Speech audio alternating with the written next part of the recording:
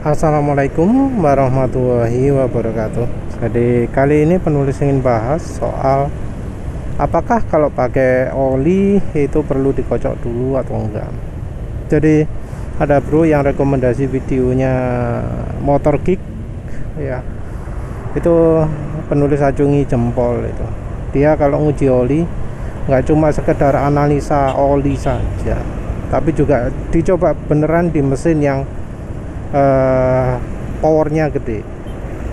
Dia jadinya bisa tahu ya efek dari masing-masing aditif. Dia juga jelaskan oh mengapa kok pabrik oli itu pilih kalsium nggak magnesium? Terus mengapa kok resep yang baru itu malah bikin tenaga nambah? Gitu ya. Resep APISN jadi penjelasannya itu kalsium itu ternyata lebih licin dari magnesium sehingga banyak yang pakai kalsium untuk deterjennya. Terus untuk oli dengan resep baru itu karena aditifnya lebih sedikit karena lebih sedikit maka ya kotoran yang ke ruang bakar itu lebih sedikit makanya lebih licin.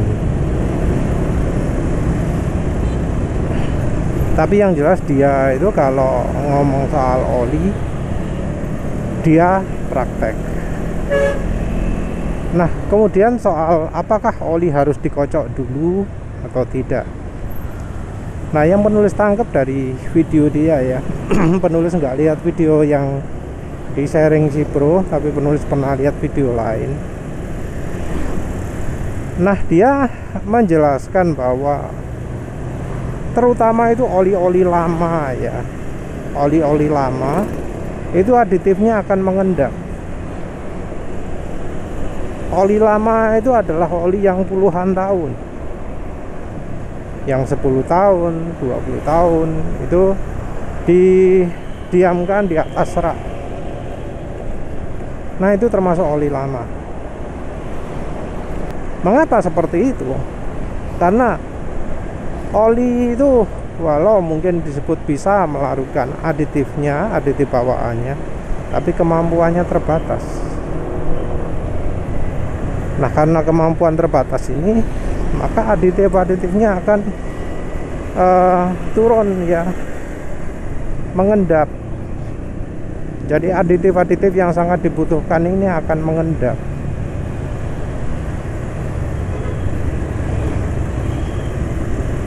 Padahal aditif-aditif yang mengendap ini termasuk aditif yang lumayan penting.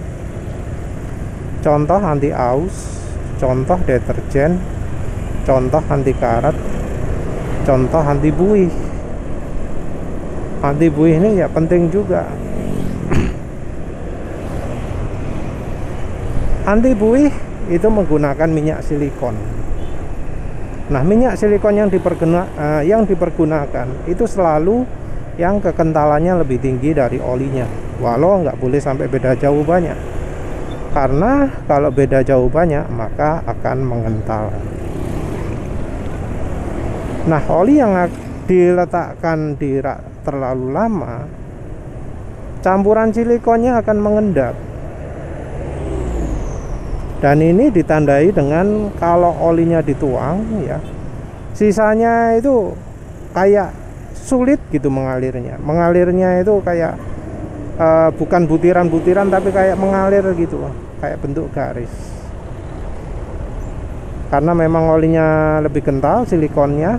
Nah, ketika dia dituang dia terakhir ngalir maka ya dia nggak akan kayak yang oli-oli sebelumnya ketika mengalir keluar. Jadi misal kita beli oli agak lama terus yang bagian terakhir terakhirnya kok uh, lama keluarnya. Nah itu adalah karena kandungan minyak silikon. Nah kalau aditif uh, kalau nggak salah ya. Aditif itu kalau nggak salah menyisakan apa ya endapan warna putih warna uh, hijau ya. Yang putih mungkin deterjennya mungkin kalsium soalnya ya terus ada zincnya juga. Gitu. nah sekarang kembali lagi ke pertanyaannya. Apa memang perlu uh, oli itu dikocok? Jawabannya sih perlu ya. Tapi kita nggak bisa asal ngocok gitu ya. Karena sebelumnya penulis pernah pakai oli uh, red line red line itu waktu penulis coba terasa minim aditif tapi terus penulis perhatikan lagi. Eh ternyata kok di dasar botolnya itu ada endapan-endapan ya padahal olinya sudah penulis apa bawa di motor di goncang ganjing tapi ternyata endapan yang di bawah itu nggak keluar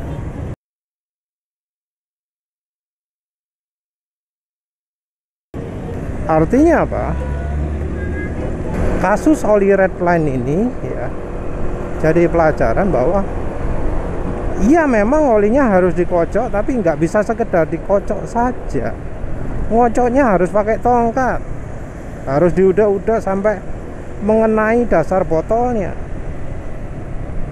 Jadi harus diaduk ya yang adukannya sampai mengenai dasar botol terus itu sampai uh, mengkorek-korek dikoret-koret uh, aditifnya itu.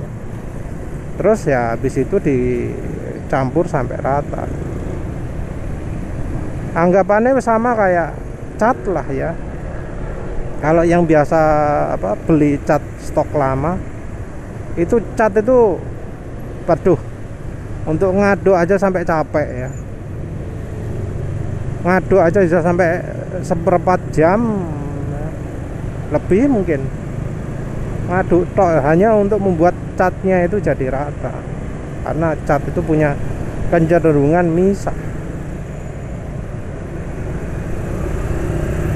Kalau nggak diaduk maka yang bagian dasar itu lebih gelap biasanya. Atau yang uh, bawah lebih terang ya tergantung dari pigmen cat yang dipakai ya.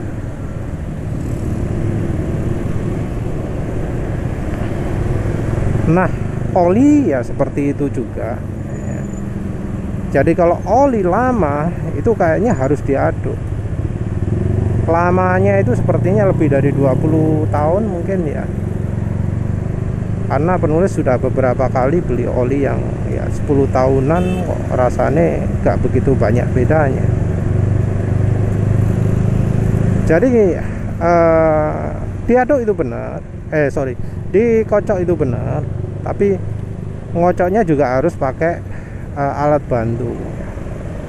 Harus dikoret-koret botol ini tapi kalau misalnya olinya itu baru umur kurang dari apa misalnya lima tahun gitu ya itu nggak perlu. Karena ya aditifnya belum mengendap.